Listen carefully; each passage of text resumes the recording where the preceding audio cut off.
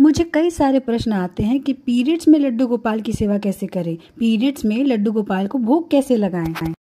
माता यशोदा को भी पता था कि उनका पुत्र कन्हैया, वो भगवान का अवतार है।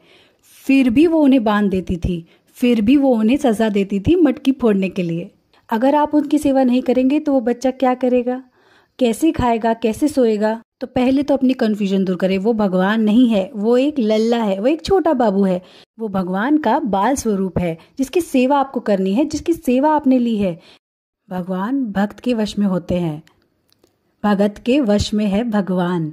अगर फिर भी आपको लगता है कि वो तो भगवान है, वो बाल स्वरूप में है तो क्या हुआ? तो आप मानसिक सेवा करें।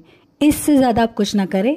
आप मन से ही उन्हें खिलाएँ, मन से ही उन्हें पिलाएँ, मन से ही उन्हें सुलाएँ। इस तरह आप उनकी सेवा कर सकते हैं। वीडियो अच्छा लगा तो एक लाइक ज़रूर करें और कमेंट में लिखें, राधे राधे।